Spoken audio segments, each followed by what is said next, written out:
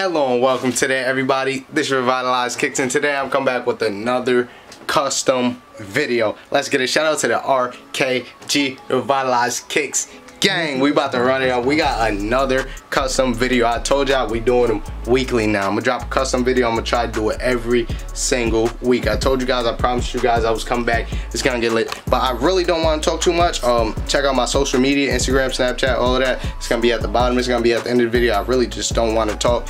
And i can't sit down like i normally do because something happened to the futon. So let's just get straight into the video. Like comment subscribe i'm out. Peace Alright you guys, I thought I'd bring it back like I used to do in the old videos and come through with a voiceover on you guys because in this custom I feel like some things are unexplained and need to be explained more. So first thing first, of course you want to get your uh, nail polish remover or Angelus leather prepare and deglazer and then you want to get a cotton ball and then just go over lightly on the shoe. Make sure you get rid of the finishing touches.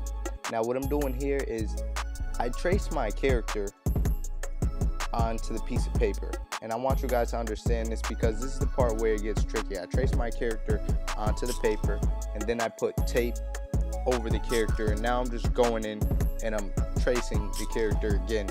So this is the part where it's like it's not hard at all but after this is when it's going to become hard because after this I'm going to come back with another voiceover and explain to you guys what I'm talking about what I'm doing is I go over, I trace my character, and then I cut him out and I put him on the shoe like I am doing now.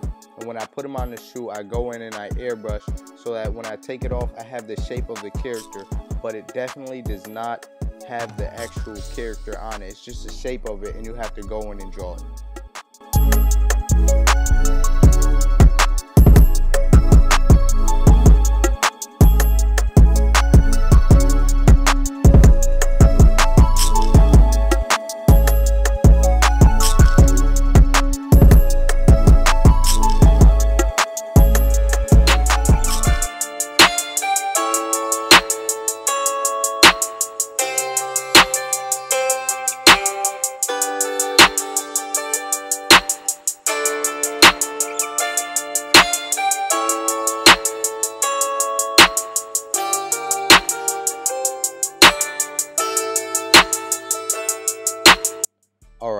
This right here is about where the point I was talking about. If you guys don't understand I'm taking off the tape and when I take off the the tape I left the parts that I didn't want painted unpainted when I took off the tape because I'll go back in and paint them and tighten up those spots. So basically right now I'm going in and I'm drawing in my character and this is exactly what I was talking about earlier.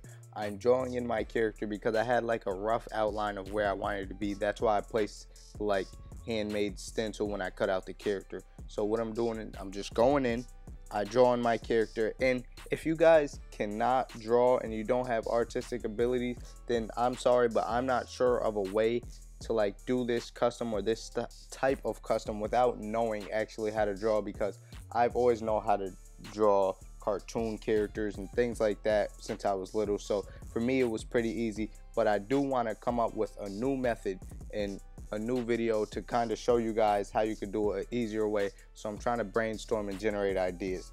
But anyways, what you're gonna want to do after that is of course just go in, paint your characters, and after you paint your characters, the last step is to outline. And outline is very important. And outline can be tricky and scary because if you don't have a steady hand and you shake, let's say you're outlining the character with a black marker if you're outlining with a black marker, okay, everything's fine. But if you make one simple mistake and go over a color that you're not supposed to, then you have to color the black and it could take multiple coats and sometimes it could ruin the custom if you do too many coats on certain parts. So just be careful, careful if you uh, try this at home and don't stress yourself out too much. I want to do another video where I explain more, so be on the lookout. Like, comment, subscribe. I'm out.